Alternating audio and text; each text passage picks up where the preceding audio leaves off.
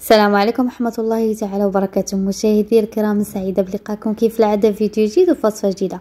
مرحبا بكم في قناتكم مطبخ عتيقة. كنتمنى نلقاكم هذا الفيديو وأنتم في أحسن الأحوال في صحة جيدة. يا رب إن شاء الله اليوم غادي نقترح عليكم بإذن الله آه، سيجار بالكفتة والخضر من أروع الحشوات اللي ممكن لكم تجربوا. آه، اللي كيجي بنين بزاف مقرمش وكذلك تيجي يعني بحشوة اللي لذيذه بزاف. على بركة الله نبداو في استعراض المقادير بعد منهم الطريقة كنتمنى لكم فرجة ممتعة.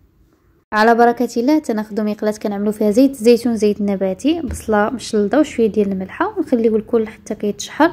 بعد ملي كطيح لنا البصله كنضيفوا عليها جوج حبات ديال الجزر اللي حكيتهم بشكل طولي وكذلك جوج حبات ديال الكورجيت اولا القرعه الخضراء اللي حتى هي حكيتها بشكل طولي.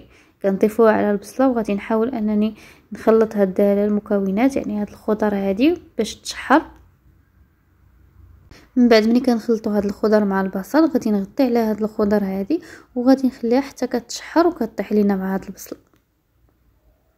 من بعد ملي كتنزل ليا هاد الخضرة كيزو مع مع الكورجيت ولا القرعة الخضراء غادي نزيد عليها فلفلة وحدة حمراء اللي كنكونوا شويناها نقيناها وقطعناها مكعبات. صراحة بهاد الطريقة هذه كتجي بنينه بزاف يعني أحسن أنكم تضيفوها خضرة. وكنضيف 250 غرام ديال الكفتة. يعني الكفتة الكمية كتبقى على حسب الرغبة ديالكم. ضيفوا 200 غرام 250 على حسب نتوما شحال ديال سيكار بغيتو تصاوبوا غادي نحاول نفتت هاد الكفته وغنزيد عليها آه التوابل شوية ديال سكينجبير راس معلقة من كل حاجة. آه سكينجبير آه خرقوم بلدي السودانية اللي ما كيبغيهاش ممكن ما يضيفهاش. الملح أنا في الأول ضفت غير شوية فقط شوية ديال البابريكا ولا التحميرة وشوية ديال الإبزار. هادو هما التوابل اللي غادي نحتاج. غادي نحاول نفتت هاد الكفته مزيان. من بعد ملي كنفتت الكفته ديالي كنزيد عليها معلقه صغيره ديال صلصه الصوجه كتبقى اختياريه ولكن تعطي واحد المذاق بنين لهاد الحشوه وكنضيف معلقه كبيره ديال القزبر ومعدنوس مقطعين كنخليهم حتى للاخير لانهم كيبقاو محافظين على النكهه ديالهم. غادي نخلط هاد المكونات يعني حتى كينسجموا ليا وكتشرب ليا الكفته هاد المكونات والتوابل اللي ضفت ليها.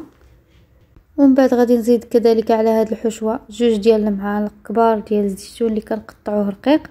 ممكن تضيفوا قل أو لا أكثر على حساب الكمية ديال الكفته اللي نتوما ضفتوا وفي آخر مرحلة كنضيف 100 غرام ديال الشعرية الصينية اللي ديال الروز. أنا استعملت ديال الروز اللي كنفرغوا فوق منها الماء اللي كيكون غليان كنخليوها حتى كتبدا تطلق وكنصفيوها كنقطعوها. أنا ضفتها هنايا في هذه المرحلة هذه يعني قبل ما نطفي على الكفتة باش هكا كتشرب ليا دوك التوابل اللي كانت ضفت للكفته.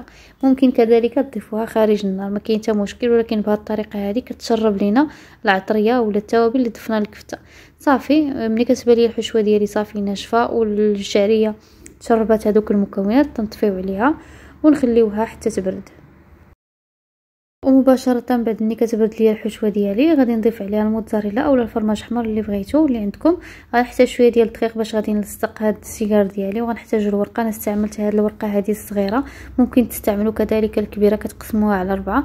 أنا استعملت هاد الصغيرة باش نستعملها مباشرة. بالنسبة ليها كتكون الصراحة هاد الورقة مدهونة شوية يعني ما غاديش ندهنها لأن غادي نقلي هاد السيجار.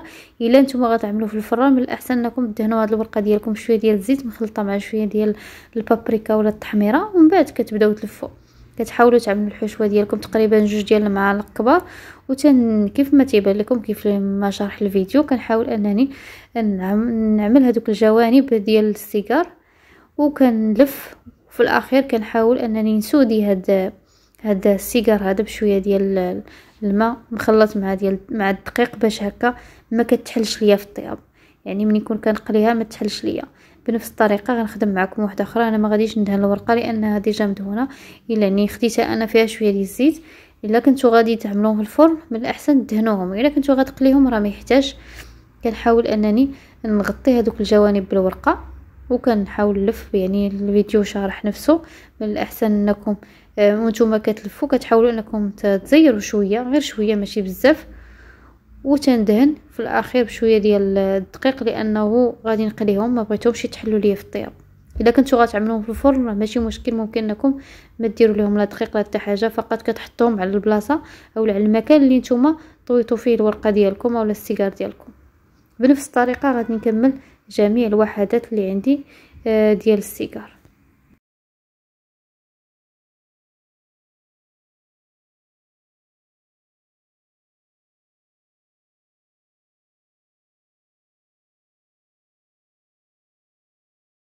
هذا هو الشكل ديالهم بعد ما ساليتهم. غادي ندوزو دابا نقليهم. بالنسبة للطريقة ديال القلي ممكن تقليهم مباشرة كيف ما هما اولا ممكن أنكم دوزوهم في البيض ودوزوهم في لاشابلور اللي بغيتو نتوما أنا غنقليهم كيف ما هما. نحاولوا نوضعوهم في الزيت اللي تكون سخونة وتنقليهم من الجهتين حتى كيتحمروا يعني هذه هي الطريقة. من بعد ملي كيتحمروا لنا من الأسفل كنقلبوهم باش كيكملوا الطياب ديالهم وكيتحمروا من الجهة الأخرى. هذا هو الشكل ديالهم النهائي. من بعد ما طابوا كيجيو مقرمشين كيجيو محمرين ولذاذين بزاف زينتهم بشوية ديال الفرماج الأحمر من الفوق. كيبقى تزيين دائما على حسب الرغبة ديالكم.